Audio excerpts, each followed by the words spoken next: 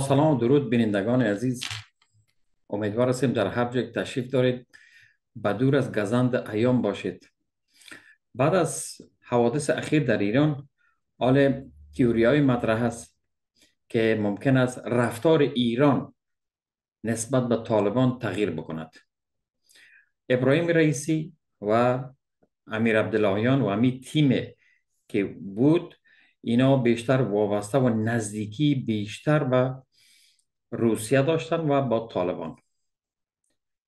حال تغییرات حتما در برخورد با طالبان رونما خواهد شد. چه نوع و چه ترتیب؟ رئیس جمهور یا تیم بعدی بیایه. چیزی که فعلا از امریکا گزارش می‌رسه که ملا یعقوب تا او وقت کوشش دارن که بجای کود عیبت الله مستقر بسازن. یعنی به سلام کاریزمای ملا عمر زنده بسازن در وجود ملا یعقوب و بجای کود عیبت که این تبدیل شده بر محور متحد با روسیه و ایران. یعنی امریکا آماده میشه آماده شده که پنجه در پنجه با روسیه و ایران در افغانستان بیاندازه. چه شواهد داریم؟ سخنان اخیر بایدن. این شواهدش است خب کدام یک از بازیگران منطقه‌ای و جهانی از سانحه هوایی که منجر به مرگ ابراهیم رئیسی و وزیر خارجه شد سود بردن؟ نویسنده روسی آندری سرنکو در صفحه خود نوشته کرده که تهران ممکن است خیلی زود در سیاست خود در قبال افغانستان و رژیم طالبان تجدید نظر کند. اگر فکرتان باشه روزنامه جمهوری اسلامی در ایران نشر میشه. روزنامه رسمی است. باز یک پنجه بر روی طالبان انداخت. اینا کلش بدون مجوز مقامات رهبری کار کردن نمی‌تونن زبانش از پس سرش می‌کشن. یعنی فرمایشی است تهران ممکن است خیلی زود در سیاست خود نسبت به اینا تجدید نظر بکنه. سقوط بالگرد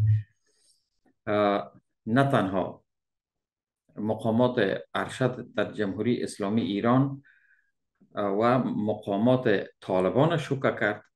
در کابل به اصطلاح خبر یعنی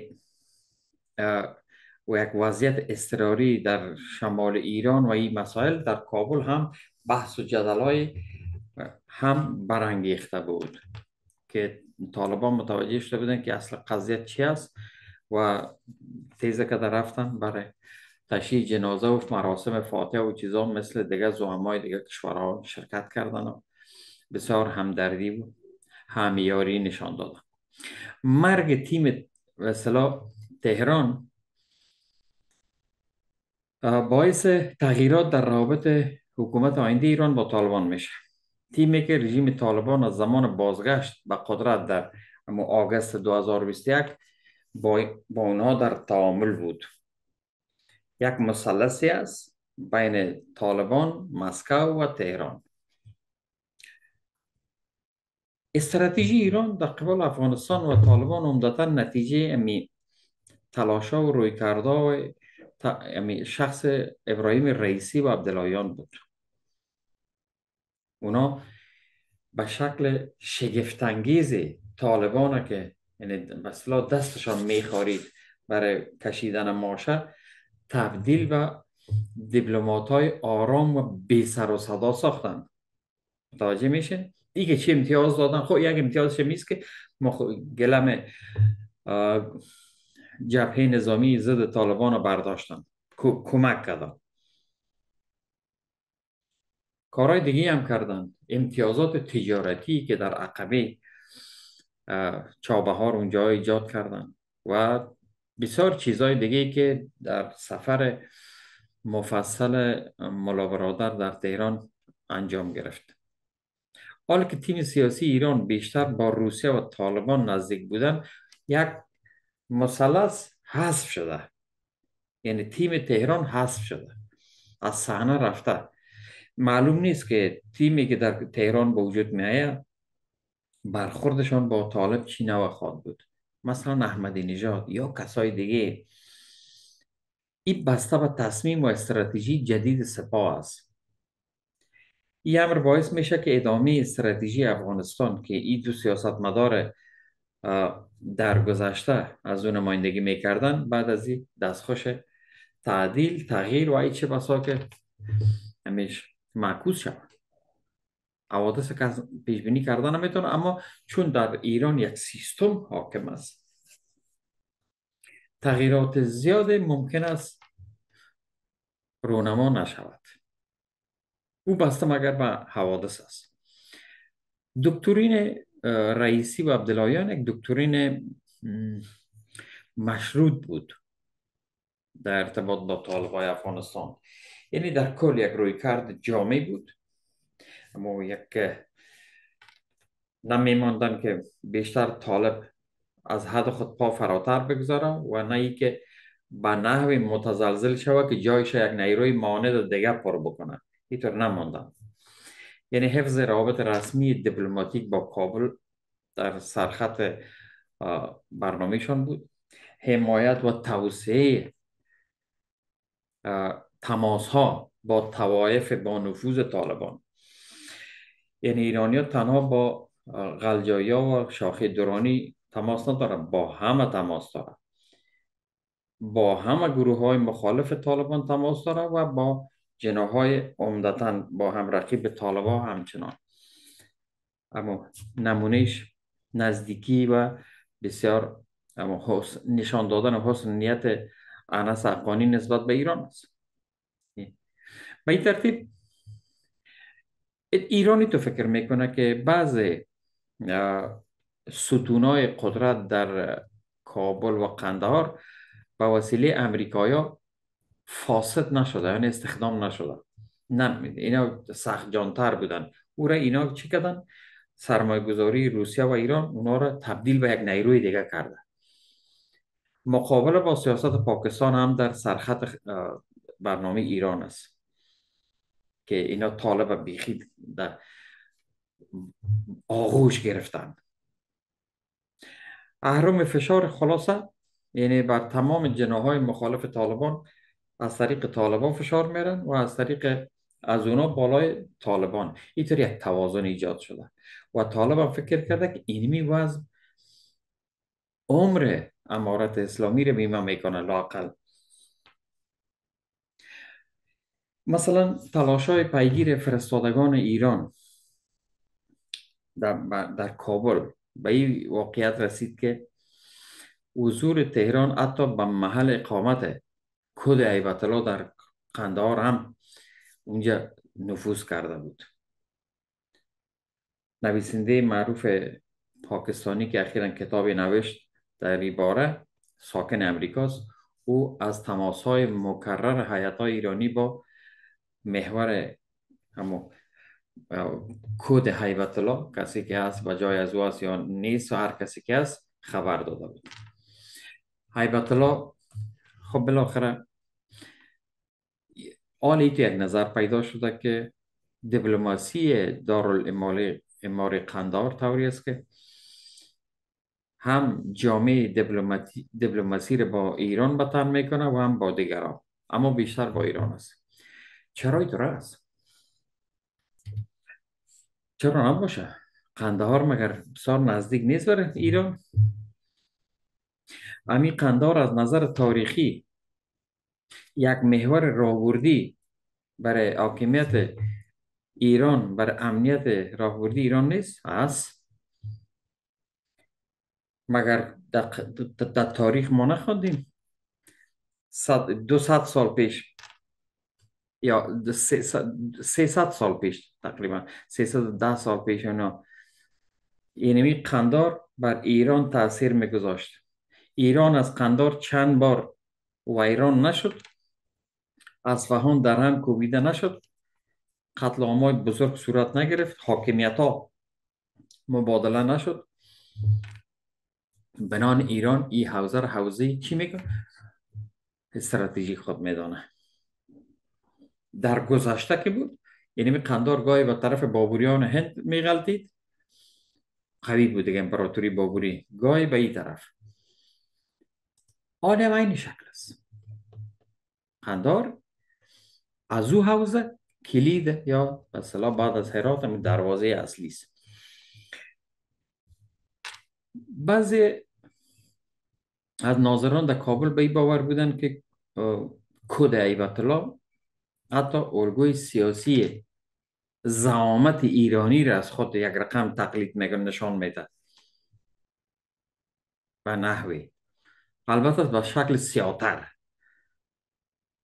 تلاش دارن شکل حاکمیت ایرانی را با یک تغییرات کم و بیش به اصطلاح طالبانی و افغانی بسازن به حساب خودشان امور پیاده بکنن یکی از رهبران حکومت طالبان در کابل خب امی ملا عبدالغنی برادر. یعنی با کارمندان وزارت داخلی ایران با خارجه استخبارات اینا همه با ایرانیا در تماس های محرمانه دیده شدند محرمانه چی؟ مذاکرات تفصیلی و طولانی مدت عبدالغنی برادر بجایش است. پروتکول که اینا امضا کرده در زمان سرویس های اطلاعاتی ایران انگشت خود بر نبز یعنی بر نبز جنبش مقاومت ضد طالبان فشار دادن. گذاشتن و اونا را به شکل بسیار میمان نوازانه آوردن در ایران پذیرفتن و تحت مدیریت قرار دادند. تحت مدیریت قرار دادند. جبه مقاومت ایران تحت مدیریت قرار داد بنا به توصیه روسیه. ورنه او مقاومتی که در پنشیر آغاز شده بود او جنگی که بود او جنگی که بود طالب با ده ها هزار نفر تلفات می‌داد اگر, اگر اینا وساطت نمی کردن مسئله را مختومه نمی کردن فقط یک کانال اکمالاتی لوجیستیکی کار بود خلاص اونو در اول کردن ما دیدیم که طالب 800 نفر تلفات داد نشد بالاخره تعامل شد با, با ایران اونا فعلا اون هم هستن مقاومت هم یک, یک طرف کشید دیگه. امی تو تا امر ثانی است خب. بنابراین ارتش ملی افغانستان هم یک بخشش قطعات خاص دیگه. و دیگه کلش چی شده؟ ساکنن در شهرهای مرزی ایران خاصتا در مشهد. اونا هستن. همین تو قطعه منتظره. ایران این رقم بازی می‌کنه. ایران با موفقیت از این نیروهای امنیتی مهاجر به عنوان یک استدلال اضافی در با طالبا استفاده می‌کنه. میگه خب اینا نگران اینا باشه ما هستیم.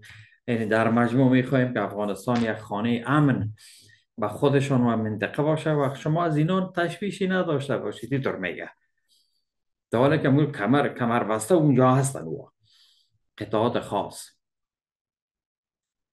خاصتا او نسل دوم مقاومت ضد طالبان است. نسل اول خب رفت خلاص شد.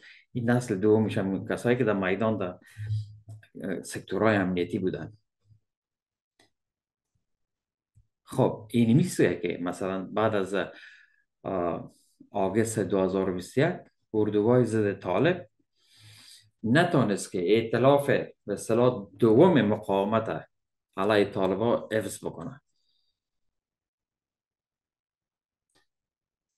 نتونست خب عواملش بسیار زیاد بود. یک عاملش که حال من که مربوط می‌شد به ایران و روسیه این خدمت شما توضیح دادم. اما یک ختم ماجرا نیست. این درست ما در وسط ماجرا هستیم. اینی سیاست چی بود؟ نتیجه خط سیاسی رئیسی و امیر عبداللهیان بود. تا مخالفان طالب تا امر ثانی خاموش باشه. یعنی می حرف ما یادتان باشه این تاریخ هم امروز 28 ماه میز. برنامه قبلی هم گفته با این حال وضعیت شروع به تغییر کرده. چرا؟ تغییر در ایران آمد نماینده های امریکا به طور فضاینده ای طرف لنگر انداختن. با موفقیت از نفوذ خود به رژیم طالبان استفاده می‌کنن. رفت آمده مثلا رئیس سنکام آمد به پاکستان آمد. سرویس های اطلاعاتی امریکا توجه سیاسی مولی مثلا به روی ملا یعقوب تمرکز دادن که این یک محور امریکایی را اینا چی کنن؟ قطر و امریکا را. واشنگتن مایل است که به جای کود عیبت الله ای آدم جایگزین شوه رهبر طالب شوه تا نفوذ او دارالاماره قندار و زمین بخوره. یعنی ابتکار از پیش روسیه و ایران چی کنه؟ بیره. از, از دست درانیا بگیره خلاص ایتو یعنی یک رقابت منطقه‌ای و جهانی بر سر طالب روان است. سیایی روابط بسیار گرمی مثلا با ملاور عبدالله وسیق داره بسیار رابطشان همی است اما قدرت تنها در دست وسیق نیست. حالا ما خدمت شما توضیح دادم. قندار حرف اصلی رو می‌زنه همزمان امریکایی ها مذاکرات غیر رسمی را با سیاستمدارای دیگه افغانستان ادامه دادن با شورای انقره مرتب دیدار می‌کنن با دیگرها جنبش تبلیغاتی بانوان در هر کشور که اینجا تیت و پرک شدن اونا هم حفظ می‌کنن به عنوان چی؟ یکی یک به اصطلاح بود قضیه چون قضیه بسیار چند بودی است. او هم نگاه کردن امریکا مذاکرات غیر رسمی خود با اونا ادامه داد در شورای انقره بالاخره همین برنامه پروژه دولت فراگی اگر شورای انقره رو وارد ماجرا بکنن موضوع بسیار جدی می شود دیر یا زود باید کار بکنن. اطلاعاتی که از کابل درس کرده اما عوامل امریکایی که در سیاست افغانستان کار می‌کنن حاکمیت فعلی را سه رکن عمده می‌دانن طالب میانه رو خودشان میگن از دل خود طالب میانه رو اگر تا امروز کسی ندیده که طالب میانه رو آیا تولد شده از کدام مادری یا نه خودشان میگن میگن طالب میانه رو نام یعنی تحت کنترل سیایی این میانه رو شد یک سیاست مدارای جمهوری خواه که نماینده های قومیت هستن. میرن با اونا می‌بینن در کجا این طرف و طرف گروه بازمانده از جمهوری حتمر حکمت کرزای و اونجا در به دور مارشال دوستم در انقره یک اینا هستن یک گروه دیگه. و دیگه کمپ مقاومت ضد طالبان است. این کمپ مقاومت ضد طالبان دیگه تعریف مشخص نداره. یک آدرس داره و اسم است. چرا؟ که پیشتر تشریح کردم روسیه و ایران قصدن اینا را. به اصطلاح امی چی بگویم؟ امی سلایشان از پیششان گرفتن. یعنی اینا را خل سلا کردن. فعلا غیر معارف هستند برای فعلا. یعنی سه گروه را از نظر امریکایی ها سه گروه هستند اما اونا مقاومت در شکل مقاومت ضد طالبان هم تقریبا بردن با خود. با خود همسو کردن. اما او به معنای بدنی اصلی مقاومت نسل جدید افغانستان نیست. او بدنی اصلی پیش ایران است. متوجه میشن؟ اینی تیه گپ است. یعنی انقطاب است خب تلاش های امریکا برای بازسازی سیاسی افغانستان. حاله میگه ما بازسازی سیاسی چی بازسازی؟ افغانستان در دان بلا دادی رفتی. در سال 2024 2025 بعد از انتخابات ریاست جمهوری امریکا اینا باز دوباره میاین بعد بانه های مختلفان و یک بانه چیست که ولم داعش بسیار زیاد شد چطور میشه؟ به ما خطر داره. از برای خدا. یعنی در این داعش که در زمین و آسمان و در شرق و غرب و شش طرف و مرکز خطر داشته باشه به امریکا هیچ خطر نداره. حال حال می میگه با محکم گرفتن حاله. خب مگر نمیچسبه؟ او چسبی که القاعده را محکم گرفته بودن آمدن حال نمیچله. ترها بازی امریکا بعد از انتخابات باز بیخی بی پرده میشه. ترامپ که بیا همه چیز گدوات میشه. ترامپ به جنگ میه مردم. فقط همه گفته باشه. و این استراتژی های ایران و روسیه و اینا رو در, در افغانستان در منطقه تو به هم می‌زنه تغییر سیاسی در ایران تحول در برخورد با طالبا را از بس جهات اجتناب ناپذیر می سازه اگر امریکایی ها در مدیریت دستاندازی در افغانستان به موفقیت های برسن یعنی به اصطلاح بی نظم بسازن دوباره بحران فربیتر بسازن این مسئله زود در افغانستان جنگ در می‌گیره موقعیت مستحکم ایران در برابر طالبان در این صورت با خطر مواجه میشه چون خود در خود ایران هم تغییرات آمده و یک نیروی ضد طالبانی وجود در حال سربرداشتن است اگر سپاه اجازه بده همه چیز میشه و نقطه اول بر, بر بگرده. نتیجه. خط رئیسی عبداللهیان در سالهای که از 2021 تا 2024 که دنبال می شد با خطر بازنگری و الغا روبرو است در ایران. اما ایرانی ها بسیار مردم دیگه بسیار روشیاری دارن. طالب در مو چارچوب ممکن است نگاه بکنن و در حقیقت فعالیت های دایش خراسان بعد بلا که از استقامت هایی که آل بایدن دوباره شاه شاهدی داده رئیس اونا را در هر نقطه بسیار بسیار بیرحمانه به وسیله خود طالبا بزنن و می‌زنن. یعنی اونا یک چیز دارن که حکومت فراگیر بحث تلاش بر ایجاد حکومت فراگیر در کابل او هم بر اساس دستورالعمل واشنگتن او محکوم به شکست است. او را قبول نداره این همیل کنفرانس سوم دوحه به همون خاطر است. مگر هیچ ارزش نداره پیش از پیش رد شدگی است. حتی یک متیار که بیخی خودش از دست طالب خون بینی شده اما هم رد کرد. این حال تقویت او گروه به معنای تهدید مستقیم امنیت ملی ایران است. حکومت آینده امریکا به این ترتیب داعش تغذیه بیشتر خواهد کرد. اما ضربات متقابل طالب و ایران بر موازی که اونا مثلا تعیین می‌کنن در گوشه و نقاط افغانستان یا در سرحدات بسیار سخت خواهد بود. اینه دیگه نمیشه کال استراتژی متعادل به سبک رئیسی عبداللهیان که به اصطلاح وضع شده بود آلو با تغییرات یعنی مقهور تغییرات میشه تهران باید بر یک جنگ جدید آماده باشه بله خب چرا به خاطر از اینکه از بحران داخلی که در اونجا آمده در داخلش غرب استفاده می‌کنه. و این استفاده ممکن است از اوضاع افغانستان باشه.